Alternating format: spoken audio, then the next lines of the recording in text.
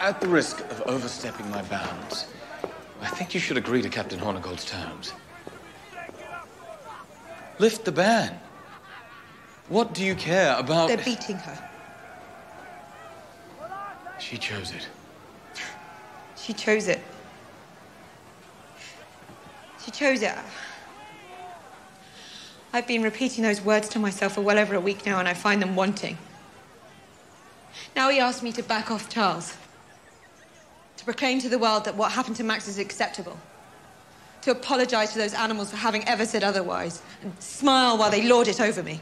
To make a dangerous situation a lot less dangerous. Then convince me. Convince me that I should betray her a second time.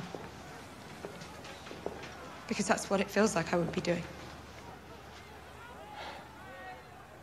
Max chose.